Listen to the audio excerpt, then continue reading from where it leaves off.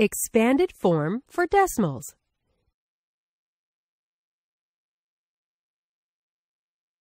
Expanding a number is a way to show how much each digit represents, based on the place of that digit in the number. Just like expanding whole numbers by determining the values of the non-zero digits, then writing a plus sign between those values, we can also expand decimal numbers. Suppose we have this number. How do we write it in expanded form?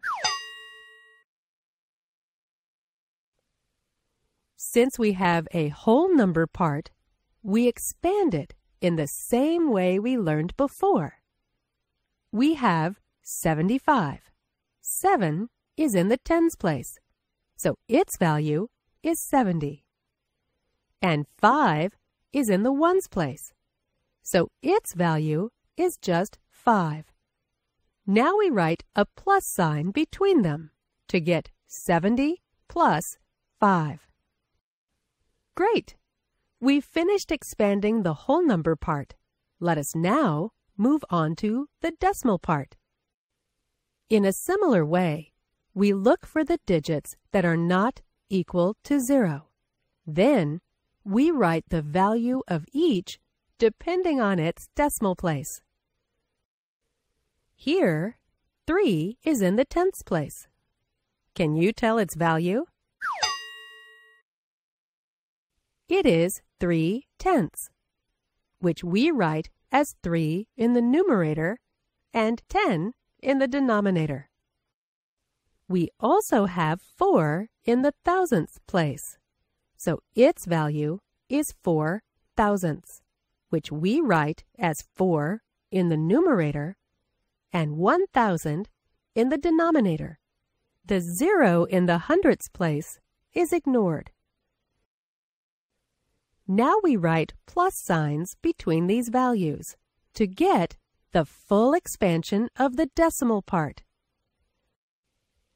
Finally, to write the complete expanded form of the number, we add the decimal expansion to the whole number expansion, and we get 70 plus 5 plus 3 tenths plus 4 thousandths.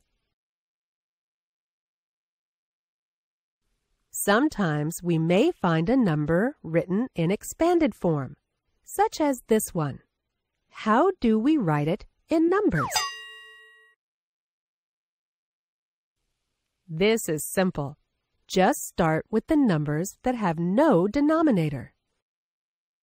These will make up the whole number part. 30 has one zero, so it is in the tens place. And 1 has no zeros, so it is in the ones place. Now we have 31 in the whole number part. And you can see we have a fraction. So we write a decimal point because a fraction is represented in the decimal part. Since the denominator of the fraction is 1,000, which is 10 to the power 3, we need three decimal places. But in which decimal place do we write 8, the numerator? Just ask yourself, how many zero digits do I need after the decimal point to get a total of three digits? If I already have one digit. Your answer should be two zero digits because two zero digits plus one digit, the 8, gives us three digits.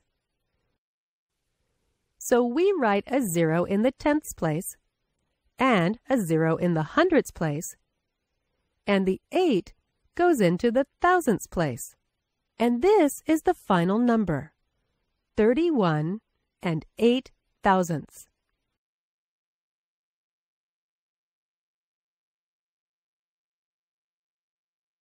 In this lesson, you learned how to convert between base 10 numerals and expanded form for decimal numbers up to thousands.